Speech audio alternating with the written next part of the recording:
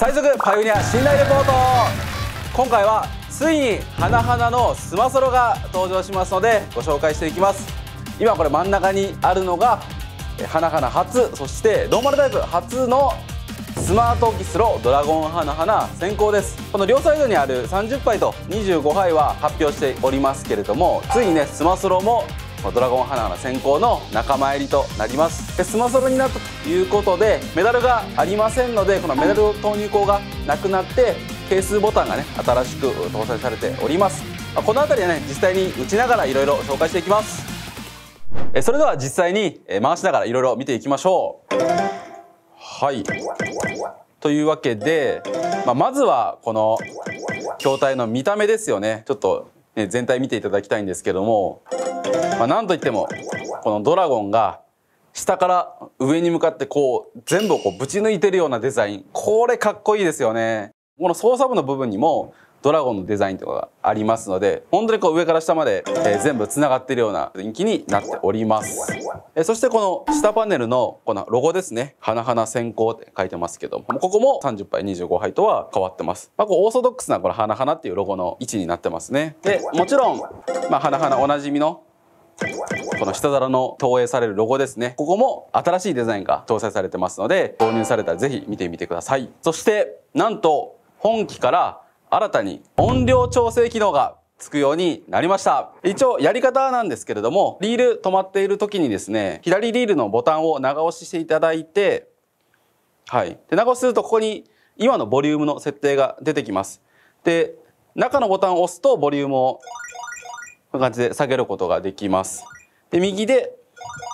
上げることができまして。でボリューム全部で1から5の5段階ありますので皆さんのお好きな音量で楽しんでいただければなと思います。で今回はボリューム5マックスで打っていきますね。このドラゴンハラガナ先行のまあおさらいなんですけれどもまずこの特徴は超ビッグ変更スペックになってます。ビッグ確率が設定6で199分の1ということで、まあ200分の1を切る、まあ、非常に軽い確率になってます。でビッグボーナスの獲得枚数が最大252枚。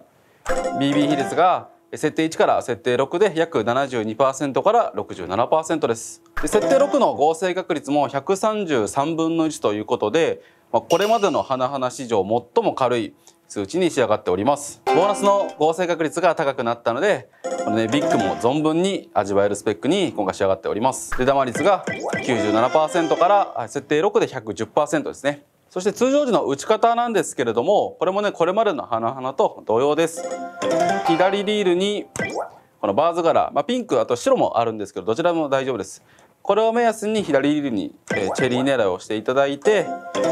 左にチェリーが止まった時は中右フリー打ち。左バーが滑って、えスイカが出た時は中右スイカ目押しが必要です。中リールはピンク7狙い。で右リールはバー図柄を少し遅めに狙っていただくとスイカ取れます。はいこれで今ハイビスカスが光りましたのでボーナス確定です。では早速ピンク7から狙ってみます。はい。これで7が揃ってビッグボーナスですね、まあ、一応ご存知の方もいらっしゃるとは思いますけれども、まあ、スマスロになったということで改めて消化手順をご紹介します。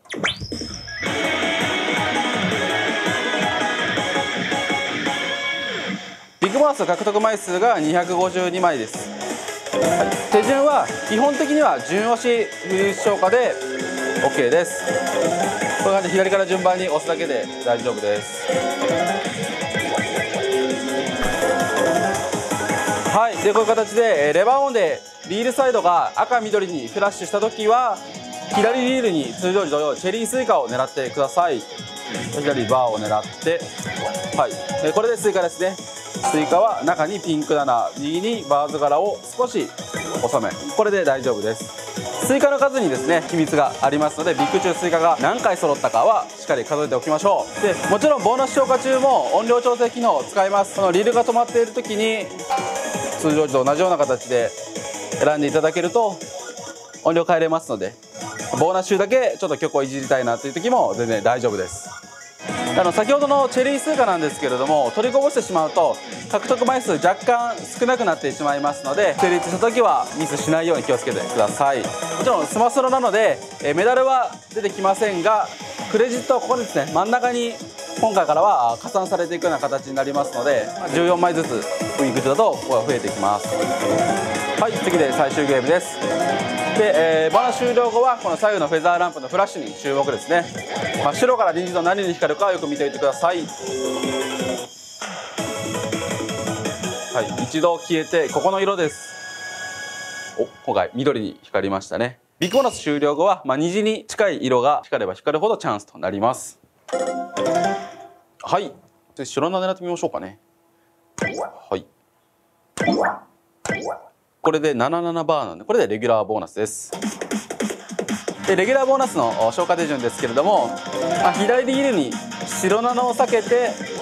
順押しフリー打ちで大丈夫です。でこれ実はこのレギュラーボーナス中にスイカを揃えることができます。手順としましては左リールの中段に白7をビタ押ししていただいて中右スイカを狙ってください、はい。ですね。でこのスイカが揃った時のリールサイドのフラッシュの色ですね。あ今青に光りました。これが青黄色緑赤虹の何に光るかというのを一度だけ確認することができます、はい、でこれが終わった後はもう左で後ろの避けて消化すれば OK です。そしてビタ押しは消化中何度でも、えー、挑戦できますので僕はできるという方は最初のゲームでやっていただいても大丈夫ですし苦手な方はね何度でも挑戦できるのでまあ、左レールにこういう形でアバウトに狙っていただいて止まった時だけスイカ狙うでも全然大丈夫です、まあ、ちなみに2回目以降止まった時は同じようにスイカを狙わないと獲得枚数少なくなってしまいますのでそこだけ注意してください。でフラッシュは最初の1回だけしか発生しませんので、はい、こういう形でレギュラーボーナス消化していきます。はいでこれで最終ゲームです。はい。でレギュラーボーナス終了後も左右のフェザーランプの色ですね。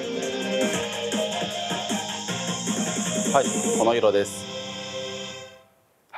まあ、レギュラーボーナス終了後は大体白色が多いですね。ビッグ終了後と比べて、レギュラー終了後は青以上に光ればチャンスとなりますので、特にレギュラーボーナス終了後のフェザーランプのフラッシュの色、これ注目しておいてください。そして、まあ、スマソロなので最後、遊戯を終了するときは、係数ね、忘れないようにだけしておきましょう。ここに係数ボタンがありますので、1回押すと、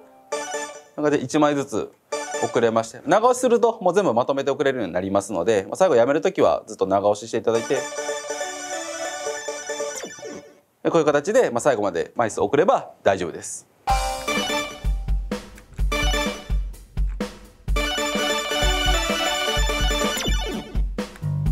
以上スマートキスロドラゴン花々先行のご紹介でしたこれまで花々を打ってこなかったよという方もスマスロを導入をきっかけに触れる機会が出てくると思いますので是非レバーオンでハイビスカスが光る気持ちよさというのを味わってくださいドラゴン花々先行は30杯25杯そして本気のスマスロと全てのタイプを揃えておりますので皆さんのお好きな環境でお楽しみください。導入開始日はこちらの日程を予定しておりますのでぜひお楽しみにお待ちください。このパイオニアチャンネルでは花々の最新情報を最速でお届けしておりますのでぜひチャンネル登録と高評価よろしくお願いします。それではさようなら。